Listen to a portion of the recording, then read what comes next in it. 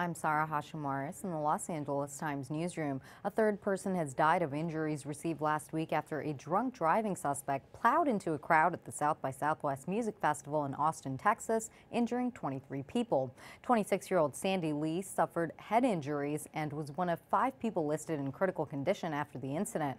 Police said suspect Rashad Owens fled from a DWI checkpoint, smashing through a police barricade and crashed into a crowd outside the Mohawk nightclub Thursday. The 21-year-old from Killeen, Texas has been charged with capital murder. For more, visit LATimes.com and at LA Times on Twitter for the latest updates.